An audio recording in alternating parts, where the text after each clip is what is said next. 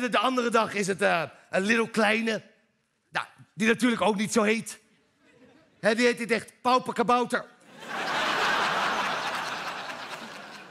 Die gozer trek ik slecht. Oh, oh, wat een vervelend ventje is dat, zeg. Voor de mensen die het nieuws hebben gemist, Pauperkabouter. Die zou zijn vriendin hebben mishandeld. En dit is mijn probleem met Pauperkabouter. Ik heb Pauperkabouter. Wij hebben dezelfde lengte.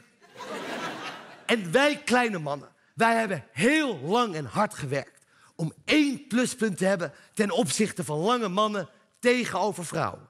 Luister, bij ons ben je veilig. Wij hebben de kracht niet om je wat aan te doen.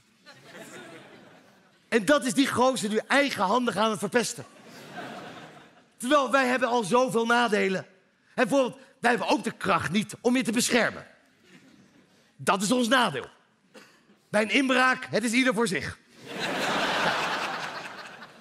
Kijk maar wat jij doet, ik verstop me in de la.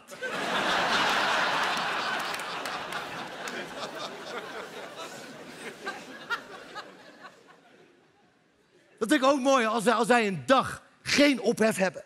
Dan creëren we ophef over de ophef. Dat is ook nieuw. En dan krijgen we opeens een discussie. Waarom is Bilal wel gecanceld, Little Kleine niet? Is dat racisme? Want Bilal, eh, die is van Marokkaanse afkomst. En Little Kleine stamt af van de Oompa Loompas. Daarom die witte tanden en oranje huid.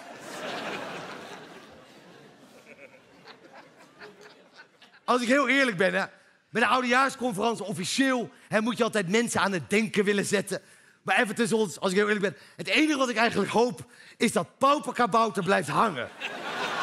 dat lijkt mij zo grappig. Dat dat zijn nieuwe naam wordt. Oh, dat gaat die gozer zo slecht trekken. Als hij over straat loopt, Pauperkabouter. Die wordt gek, weet je. Die slaat iemand op zijn knie. Oh, heerlijk.